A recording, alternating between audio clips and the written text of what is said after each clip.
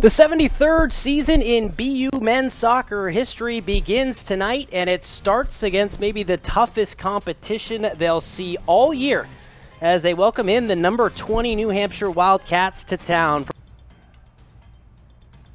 Wildcats put it into a good area. Now they're going to settle it down. A little chip shot into the box of the head on to Montali. It was right into his breadbasket. Didn't have to move at all.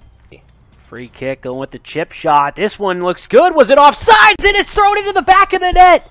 No, the flag is up. Assigned to UNH, who's into the box. Here, they're trying. What a oh. stop by Montali, and the rebound chance goes sky high and over the net.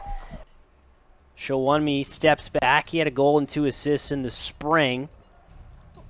And this one fired it. Oh, that one did it go through the net? Yeah, it looks like it did. New Hampshire has scored. It was Showunmi who blew it through the net, and the Wildcats lead 1 0 with just over seven minutes to go. Yeah, if you're going to make a run in the national tournament, chance here for the Wildcats. Oh, what a shot! Par down.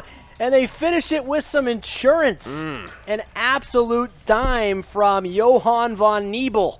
That's a dagger in the heart for BU, and that should put it away.